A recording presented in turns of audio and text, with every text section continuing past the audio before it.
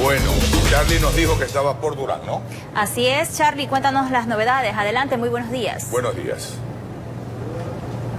Muchas gracias, buenos días compañeros. Es la preocupación de aproximadamente 50 propietarios de tanqueros de agua potable que trabajan, han trabajado por más de 16 años en una asociación en el Cantón Durán, en la provincia del Guayas, que muestran eh, se sienten preocupados. Ellos nos cuentan de que les han incrementado el precio del metro cúbico que lo han comprado por más o menos unos 16 años a 26 centavos. Es así, señor periodista. El 16 de junio nos convocaron a una reunión donde nos comunicaron la determinación que habían realizado ellos de subir el metro cúbico de agua potable de 0.26 centavos a 1.50 dólar es decir, más del 500%.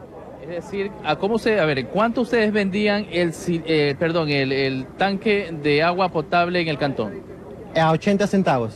Y con ese incremento que ustedes han registrado en la compra por metro cúbico, ¿en cuánto los van a vender ahora? No podemos venderlo a más 80 centavos. ¿Por qué? Según el registro oficial que ellos determinan, solamente incrementan el precio del costo del producto, del agua, pero no incrementan el precio del pueblo. Y no queremos que se aumente el pueblo. Lo que, lo que nosotros decíamos como institución es que se respete al transportista y hay una mesa de diálogo donde se reconsidere el valor del metro cúbico del agua potable que mal lo determinaron ellos. Pero hay otras empresas que también se dedican a este negocio o solo ustedes? Solamente nosotros, por medio de un convenio firmado con EMAPAP, somos los autorizados para distribuir agua en el Cantón Durán y lo hemos hecho durante 26 años. Listo, muchas gracias. Acá tenemos todos los dirigentes de esta asociación. ¿Ustedes piden alguna eh, reconsideración con el municipio de Durán para que vuelvan nuevamente a esos costos o algo para que no se eh, perjudique a los ciudadanos?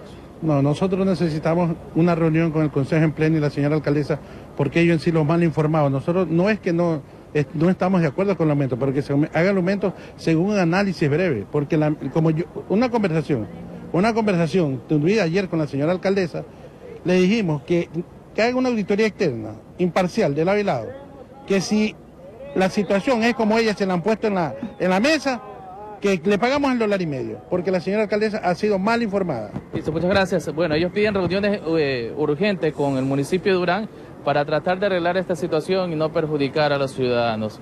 Nosotros en pocos minutos les tendremos más detalles de esta situación que se presenta en el Cantón Durán. Compañeros.